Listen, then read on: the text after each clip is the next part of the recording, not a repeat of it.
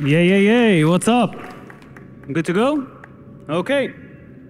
So, uh, hi everybody. Today's talk is uh, called OMIDC, where we're gonna learn and see how we can we abuse OIDC setups in the context of CI. Um, this is extremely exciting for me. That's my first time speaking in in the con, so thank you very much for showing up, and thank, thank you very much for having me. That was the first voice breakdown, so it's fine. Okay, uh, by the way, if Adnan and John are here, thank you for the build-up. I hope I'll satisfy that. So I'll uh, present myself. My name is Aviad Chachami. This is my uh, Twitter handler. I do security research at Palo Alto. Um, I do CI domain mainly. Uh, I welcome you to check my latest publication. Uh, this is Azure CLI um, information leakage with the 8.6 score somehow.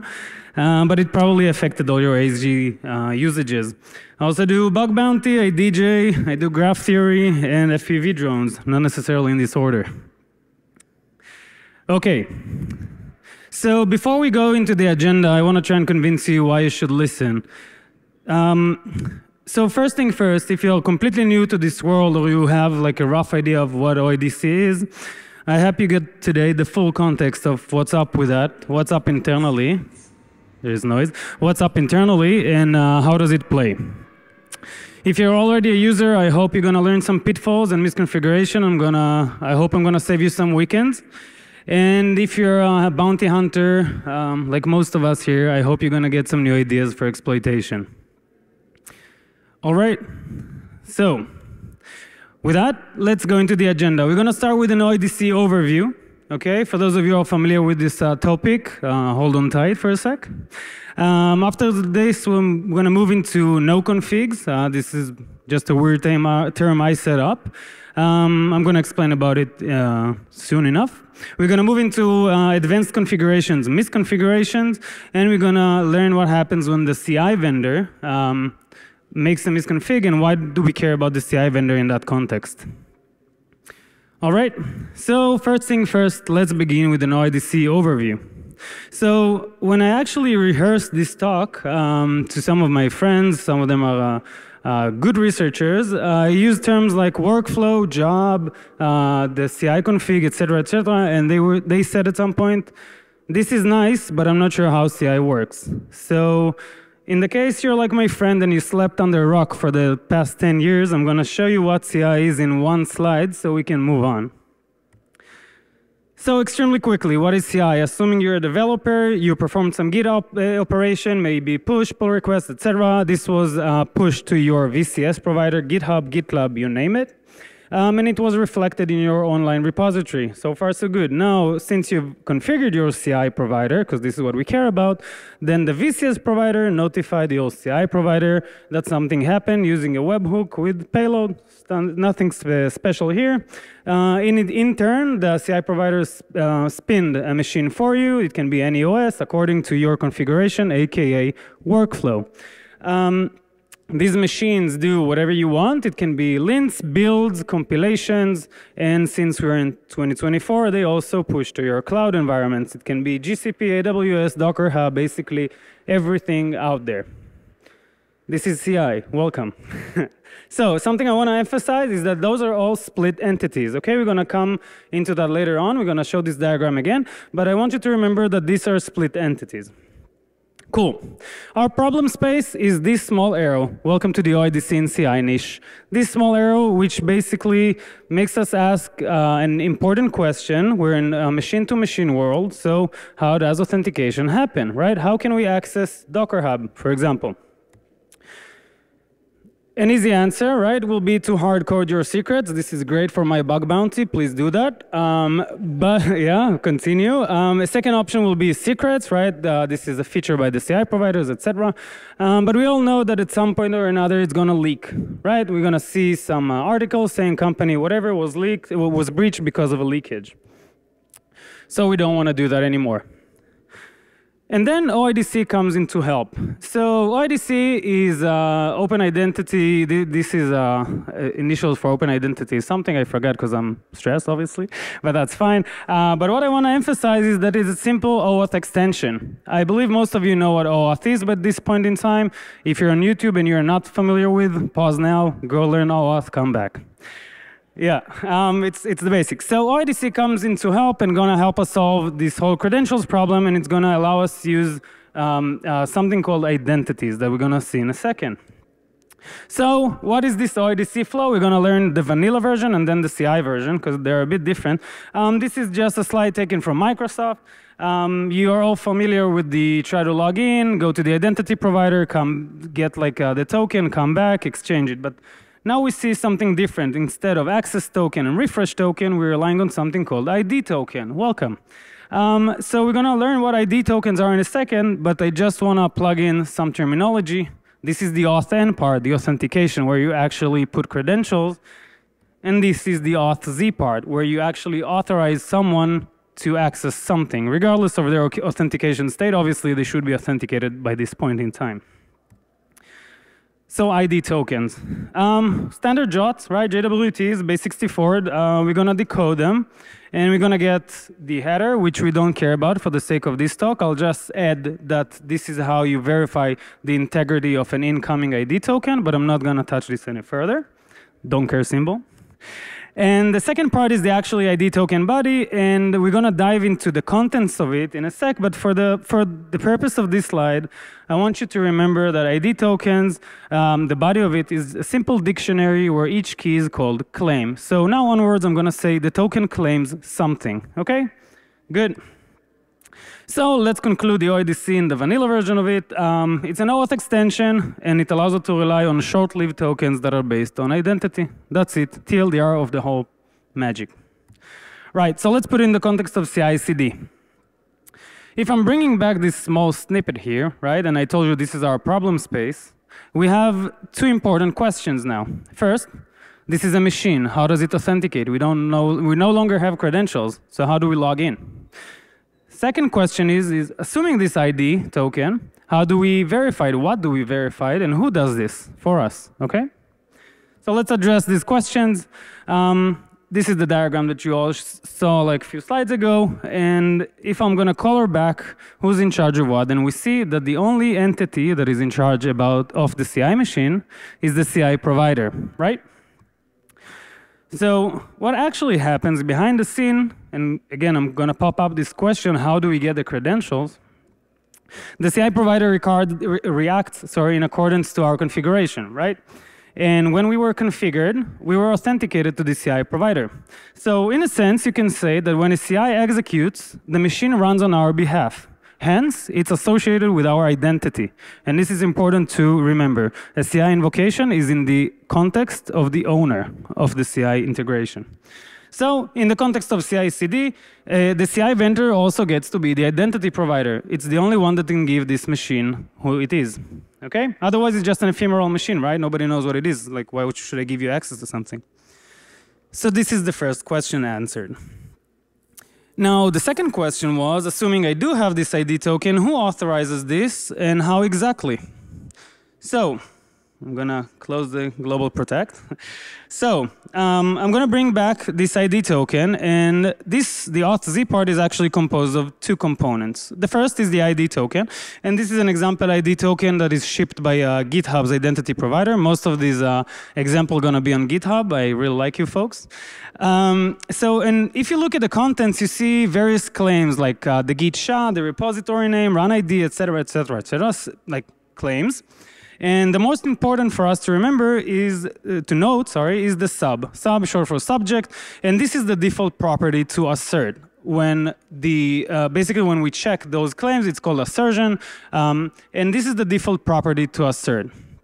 Now, if we actually dissect this for a second, we know the following. The repo, short for repository, contains the value of the repository claim, okay?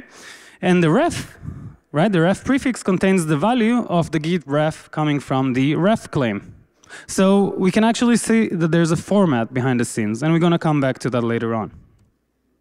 So an ID token, in the context of CI, I'm going to summarize that, contains information about the Git event that triggered the pipeline uh, alongside other vendor information. And we're going to see later on what this other vendor information, where exactly does it bite us. The second part, the second component of the auth-z, is the something called identity federation. As the name implies, it, it federates identities coming in. Um, this is an example configuration uh, for AWS specifically, and the file is pretty simple. Um, you have the identity name, just a string, the identity provider, this is usually the URL of it, um, and then you set up conditions for who can claim to be this identity. Um, then we see what claims we assert, right? We have the sub, does it work? Okay. We have the sub, and then we have the odd, odd short for audience, by the way. And then we see that there we can define the comparators, right? We can do string like or string equals and set the values. Okay, so this is roughly, this is how it goes. So per the question, how exactly do we authorize someone? Then we have this entity called Identity Federation, and it's going to assert tokens claims coming uh, from uh, CI machines, in this case, obviously. All right, so now that we know that the CI provider is also the identity provider, right? This is something new. And we also know that this, uh, we have this federation, then let's redraw the, o the OIDC flow in the context of CI. So in the context of CI, we actually have this diagram. Now, the CI provider also gets to be the identity provider, so it hosts both, uh, like, both the CI and itself, the identity, and also we see on the cloud provider, we have the federation. So the flow is as follows. You ask for an ID token, you get an ID token, you go to your cloud, you say, I want to access. The cloud's verified the integrity. This is done using the header. And then it's going to assert the incoming token against its policies. And assuming everything was fine, you're going to get a set of short-lived credentials. This, this microphone hiccups, right? Right? Uh, oops, the mic hiccups. It doesn't work, roughly, halfway. Okay, Asi, take care of that. okay, um, I'm gonna plug back in the terminology. This is the auth n bit, okay? And this is the auth z bit. Now, since the flow is different, what does it imply? I'm gonna border this square and let's zoom in. Since everything here happens within the CI provider, if we are able to trigger a CI pipeline, we basically granted the owner's identity. Okay. Now you can limit that using you can limit that using specific uh, uh, uh, orders. We'll see later on. But if you're able to trigger a CI machine, you're basically past the auth n part. Okay. This leaves us with the auth z part to guard everything basically because we have the CI machine running, and in a sense, if we're able to trigger a CI pipeline, all that stands between us and accessing a target's resource is just the policy pattern matching, right? So you can see on the bottom part examples for uh, sub-claims. It can begin with repo, uh, Moti Banana Zurich, um, the name of the uh, uh, repository, the Git ref. And on the right-hand side, you can see an example of assertion, for example, repo colon star, and where star will expand to everything using pattern matching. Okay, so this was the summary for uh, OIDC in the context of CI. This is how it works. This is the whole magic. So in the context of CI, we can say that it is done via asserting incoming ID tokens from CI machine using an identity federation in exchange for credentials. That's it. Easy. Cool. We can move on to the no configs and let's have some fun. So, no configs is basically when there is no one at the door. If you think about the auth z as the bouncer, if the bouncer allows anyone into the club, then anybody can get in, right? So, a no config is a state uh, where the federator is asserting lax rules, if any, um, and they will, it will authorize almost any ID token. Okay, what does it mean? So let's take a look at these three snippets. These are snippets from the Identity Federation example you just saw, but different assertions. So the first one, we have uh, uh, an asterisk, right? Using pattern matching, it's gonna expand to anything. Obviously, you didn't check anything here. Um, second option, repo colon star, so everything begins with repo. There's nothing specific to your account here. So again, you didn't check anything. And the last one is everything that begins with my org. And something to note, there is no slash between the org and the star. So if you would open a GitHub organization called my org1, it will satisfy this as well. Cool. Now, this was already talked about in, uh, in uh, two talks, one by uh, Rojan of Tinder and one by Christoph that maybe sits in the audience here. So, hi, Christoph. Um, I also talked about it uh, on the latest um, B-sides. And basically, I, I, really, I highly recommend watching these talks. They explain exactly how those misconfigs look like, okay? And how to hunt for them and how to exploit them. I'm not gonna talk about uh, when there is no config kind of situation. Um, and yes, go ahead and watch them. So since we're not talking about the no config situation, what happens when I have partial configs? How safe are they, if at all? Let's zoom in. So the first one, we're gonna assert everybody in the org name, right? Repo call colon org name. Let's say I can say anybody in Palo Alto can access this identity. Is this okay? Is this safe? What about everybody in Palo with respect to a branch? So the answer is the first one is potentially unsafe. So does the second one. We're going to see later how we can exploit and abuse such cases. And the workflow example is actually the worst. This is very bad. If you configure using the workflow, you're exploited immediately. Okay, and we're gonna see how. And another thing you gotta ask yourself, how come this claim begins with workflow? All you've seen was repo colon. How come we're at workflow colon? What happened here? All right, so let's move to misconfiguration when you do some configurations, but they're insufficient. Uh, we're gonna see some pitfalls for advanced configurations, including a demo, and then we're gonna see how you can abuse uh, pipelines. This is partially what Adnan uh, uh, talked about in the in the last talk, um, but we're gonna see how we can abuse LUKS policies and access uh, um, various identities. So misconfigs. We're gonna start with a short demo. Um, I just click here. Okay, so what you see here is a video that was uploaded by uh, JFrog explaining to their customers how to configure OIDC in front of uh, JFrog. So you can access the Artifactory, X-Ray, etc. So this is a great feature, by the way, nothing bad to say about them. And what we see in this example is how they configure the identity provider on JFrog side and how they configure the identity. Here we see the example uh, claims GitHub allows us to rely upon. And we can see on the right-hand side that they instruct us to assert workflow equals JFrog NPM. This is according to their video. All right. Um, I'm a naive user. I'm going to copy paste that, right? Uh, I just learned OAuth and, and OIDC. So this is me creating the same identity provider at JFrog, um, just naming it my provider, etc., etc. Nothing fancy, and some arbitrary arbitrary identity. And I'm going to do the same instruction. I'm going to assert that the workflow equals corp reusable workflow. This is coming from my corporation. All right. I'm gonna save it, and then I'm gonna copy the snippet. This is for GitHub Actions. Uh, for those of you who are unfamiliar somehow with this product, this is GitHub's CI. Um, once I saved it, I'm gonna go to my leaking pond repository, and I'm gonna create a new GitHub Actions file. I'm gonna commit everything.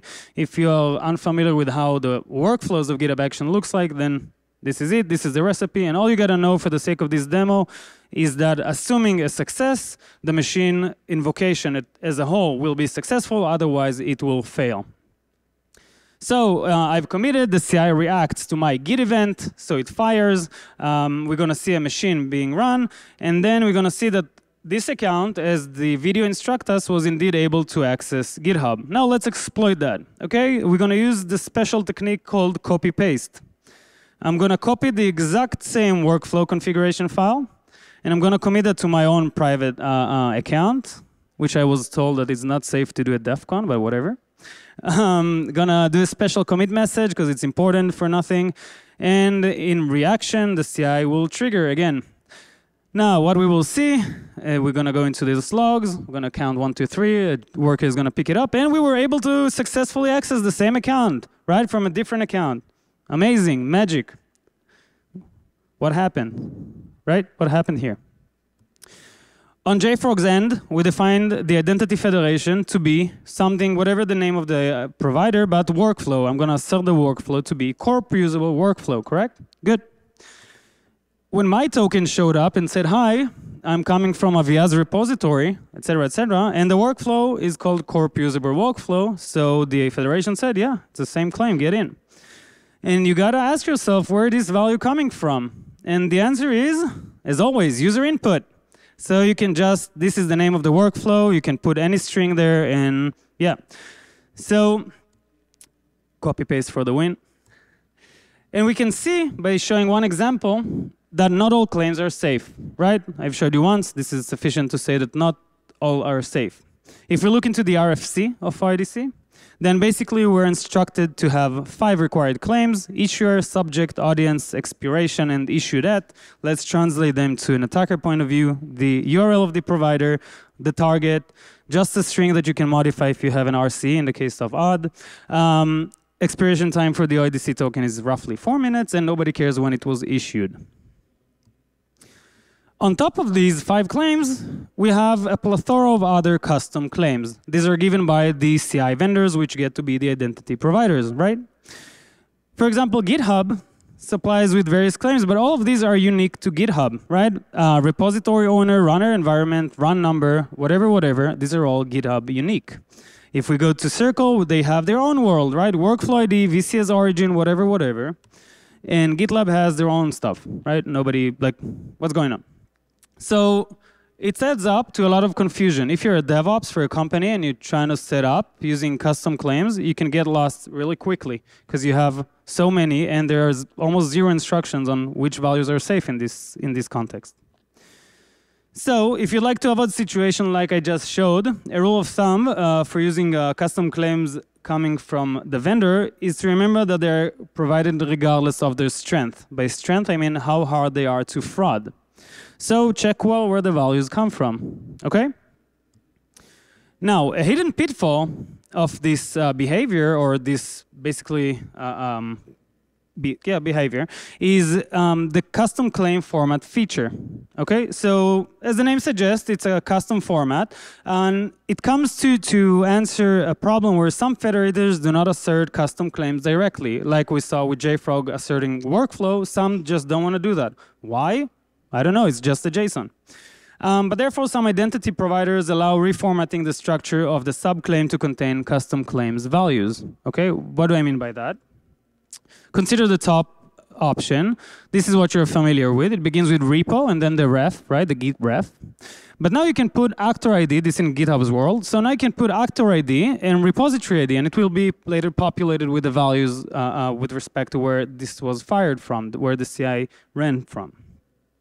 So something that can be easily missed with this feature is that the claims order is critical. All right, let's see why. Consider this, uh, uh, this format and this claim. So we're gonna have uh, repo myorg and then the name of the workflow, Makat Shemesh, fine. So we all know by now that this is very unsafe, right? I just showed you how it can be abused. Um, but this one is actually safe. The prefix is safe. Why? Because GitHub will actually put the name of the organization and repository. You can't just fake that, at least not in this talk. But you can just fake that. So this is fine. This is an example of fine, although it relies on, on unsafe claim uh, for the second half of it. If you flip it, however, then you're done with. Okay? So let's see how.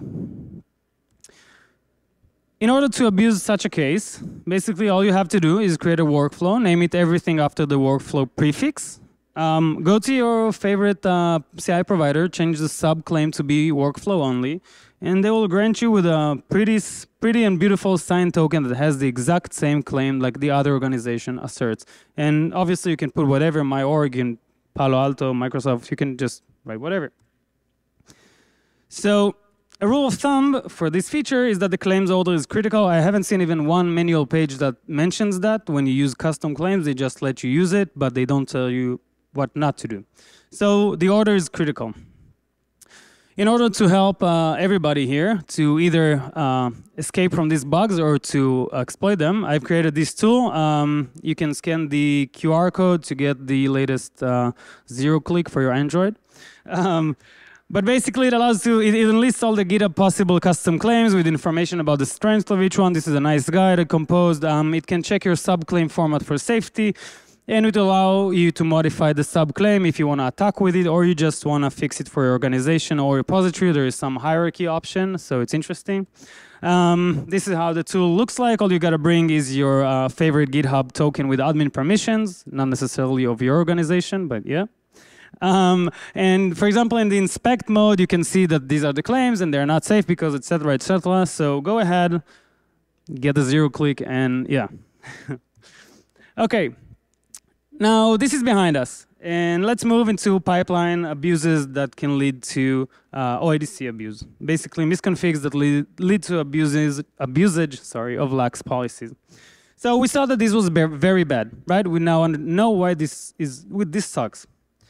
But what about these two? We did, the, we did just say that, for example, saying everybody in Palo is fine, right?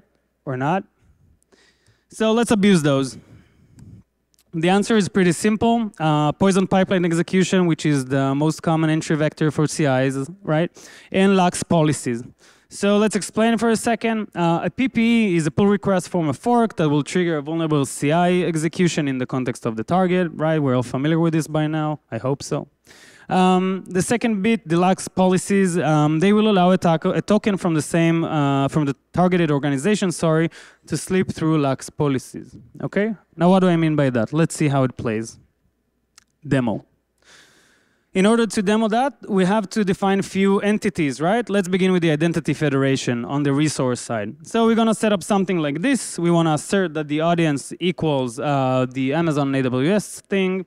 Um, and we want to assert that all the identities coming in from the Banana Moti organization are okay to go in. This is the federation. If you put it, by the way, on AWS, it's going to look something like this. And although AWS did some changes in order to enforce more strict policies, they will allow you to do that. This is fine by AWS. Now for the Git part. Let's see what's our setup we have this organization called Banana Moti, and we have two uh, basically pipelines, including the Git repo itself. And let's explain. So the upper one um, is a pipeline that is configured to connect using OIDC to an S3 role that is uh, an admin. Um, this policy is the policy that we just saw, so it's lax. Um, and this is our target. The second pipeline is called any updater, and uh, it contains, it's connected to a vulnerable pipeline, and then it's using an OIDC token again to access a restricted S3 uh, uh, bucket or a role, and we obviously cannot use that. So let's see our attack vector. Pretty simple. We're gonna fork the any updater, and we're gonna uh, um, basically invoke the CI machine of the the CI workflow. Sorry, of uh, and we're to invoke the vulnerable CI workflow, and we'll try to access the other accounts. Um, the workflow, by the way, looks something like this. It has to react to pull request, maybe pull request or pull request target for the GitHub world. Um, and you have to specify that you want an ID token. The, the workflow has to say it. Um, the pipeline is going to check out the fork. This is the head for the pull request. Uh, we're going to skip the part where it actually assumed the AWS role. We, don't, we can't use that, so we don't care. And then there's an invocation of a file from the file system, which was just cloned from the fork. And yeah, we have RCE. So what we need to do now is make the fork pull request. This is what's called IPP, indirect poison pipeline execution. And this is the exploit script. Don't rush and, and, and take pictures. It's just ChatGPT. Um, but basically, all you have to do before you make this exploit code, you have to, uh, to do some recon and collect various accounts that are, are connected through using OIDC. Okay? I'm not going to talk about it in talk, but this is something you have to do. In this example, I'm having two roles at the top that I'm going to try to exploit. Let's see it in action. So this is the prepare.sh file that is going to be invoked at some point. Uh, this is my fork, any updates, sir? And I'm going to open a pull request. So uh, hello, it's me. The diff is the same file, nothing but this file. And I'm going to open the pull request, and it's going to invoke the CI in response to the trigger. Cool. Three seconds from now, we're going to see the machine logs. One, two, three as I promised. And now in the logs, we will see in the prepare step that it, we will see the output of my script. And if we're successful, we'll see sets of credentials. And I wouldn't be here if it would work. So yeah, we have sets of credentials. So we were able to assume a role that was not allocated to the pipeline we were running at. Well, we were not able to assert others, but again, you can just spray OIDC tokens. So this is a very nice technique. You can just collect tokens, find vulnerable pipelines, and start spraying for to find the lax policies internally, right? You're already past the auth n. You have the credentials. So give it a shot. One second.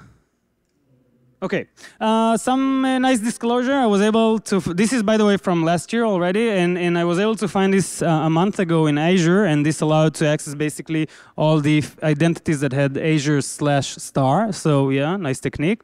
Um, the rest did not allow disclosure, but you're out there. Cool, so rule of thumb in order to avoid this type of stuff, one is for the CI, please follow the best practices. We're 2024.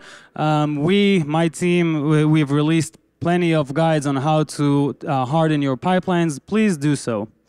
The second thing, uh, pursue uh, uh policies that are not with wildcards as much as you can, or uh, use other claims that are safe in order to assert identities. Okay, this brings us to our last topic of the day, and this is when, when the vendor misconfigures. Now that you know that the vendor, the CI vendor, is also the identity provider, now they have to put to give more attention to the details, right? They have various products at their hand now, and they have to be very careful. So, this is a disclosure for uh, Circle CI. Um, and basically, if you're unfamiliar with Circle, they're a great CI product. Um, they provide various machines, right, in order for you to run your workloads. And they're super nice and professional folks on a personal level, okay?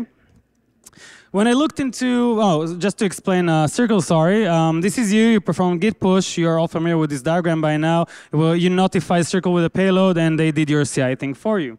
Now, when GitHub notifies Circle, by the way, they do that with the webhook, and the payload is everything that was that is in your Git context. So in a way, and just to add to the confusion, Circle can supply you with a superset of claims on top of GitHub's claims, if you think about it, just to add to the confusion from earlier. I see your faces, so yeah, it's confusing.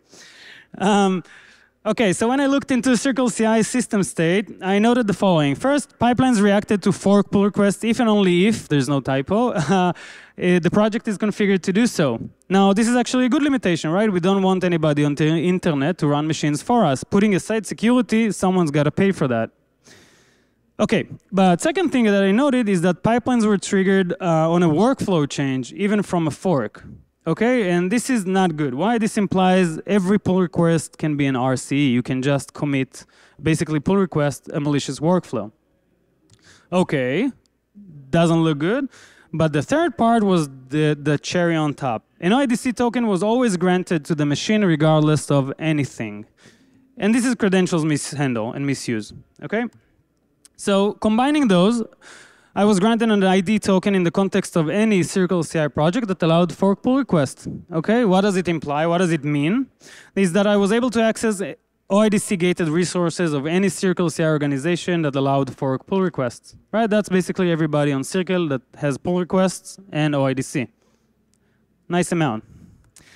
Um, the attack flow is pretty simple. You just saw a demo of that using uh, another file, right, the prepare. So I'm not going to show the same thing. All you you had to do basically is uh, pull request the workflow. So I'm not going to show that. I will talk about the disclosure, however.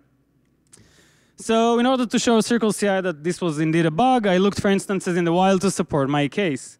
Um, it wasn't long ago until I found this file. Now, this was by a company called Darklang. Anybody here familiar with those folks? Hands up? No? Okay. Um, just to explain this file, this is an identity federation for uh, GCP. And even though you don't know this, this CEL language, uh, GCP's language, you can understand the mapping here, right? We know that CircleCI.com, we know this is the provider, and we know project ID is the claim, and we're going to map it to project, audience to organization ID, and sub to sub, right? We now know what these claims are. Um, per the condition, the condition was that any one of these three project IDs is okay to access. And something that I cared but then didn't care for the exploitation was that the issuer URL and the allowed audience had to be the organization uh, ID. Now, this is fine as long as you create a pull request within the organization. Circle will just provide you with the ID, right? You're in the context of the organization. So this part is fine. We don't need to care about that. Um, so basically, a fork PR to any of those projects, um, which indeed they allowed fork PRs, uh, granted access to their clouds. That was it, as simple. Okay, just detect the misconfig, pull request, enjoy the cloud account. So good and me, I'll disclose to the company so they can fix it, and meanwhile, meanwhile I'll go to Circle. I went to Darklang's uh, Discord asking for a bug bounty because I like it, and but there was none. So I was told to DM uh, DM someone, Um, this is the someone, P Biggar. I don't know if someone is familiar with this name, but yeah, we're gonna see exactly how you are familiar. But um, yeah, he told me DM me, which I did. I sent uh, I sent them everything, and I also added the line the reason at the bottom. Sorry, the reason is not safe is not because of you. It's because of a bug in Circle, right? I mean, you're fine. Just defend yourself. It's them, not you. Um, I also asked them to not disclose right now. I don't know who is aware of that. I don't want anybody to exploit. I'm a white hat at that point. Uh, I don't want anybody to exploit, um, so don't talk to anybody. Um, PBiggar replied that he was investigating, and then he confirmed it and blocked all access. By the way, this is exactly where OIDC kicks in by ticking one box, he was able to kill all the GitHub, uh, basically all the um, OIDC connections coming from Circle. Okay, this is very powerful. No rotations needed, no credential changes, just one box. Um, he was fixing that, and we, were, we continued chatting. Later on, he said again that he was very happy to seal it, to which I replied, no problem. To which he replied, uh, by the way, I sent a note to the security folks at Circle CI. I wasn't sure if you knew, but I founded Circle. yeah. So, just a random dude on Discord, right? so, a good advice here would be to attempt to not disclose directly to the board member or the CEO. It can be a bit awkward and odd. So yeah, this was uh, June 23. Circle since then fixed this bug and sealed it. And now if you look into their OIDC page, you see this message, what about forks? And basically, uh, you have to opt in now. Like in GitHub, I told you you have to set up ID token, right? This is the same thing. You have to opt in. This is done in different matter, but the same idea. You have to opt in in order to provide a fork, a machine that is running for fork pull request, an OIDC token. Um, this changes this state, and now we have a proper handling. You can see that um, part two is still there.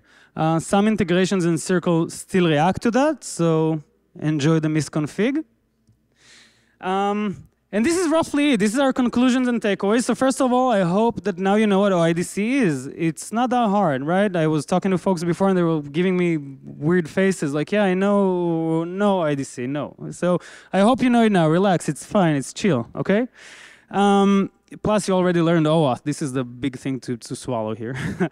Um, second thing, and this is actual takeaways. So for using OIDC CI, do the following. Uh, learn the origin of each claims. I've provided the tool for GitHub again, but um, learn the claims for your identity providers. Uh, pursue policies without wildcards. And always, thinks, always think which other identities can satisfy my conditions. Last bit, please harden your pipelines. Sometimes it's too easy. That's it. so yeah. Um, and yeah, but that's basically it. Thank you very much. Um, yeah, I'm here for question if there are any.